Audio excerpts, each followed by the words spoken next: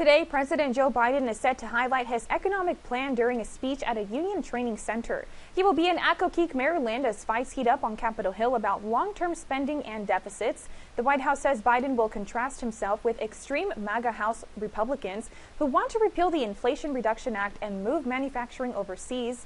Biden will outline his plan to cut the deficit by nearly $3 trillion over 10 years by asking the super wealthy and large corporations to pay their fair share. He also plans to cut wasteful spending on special interests. The White House is banking on the plan being popular among Americans, even though it doesn't have a real chance of passing on Capitol Hill.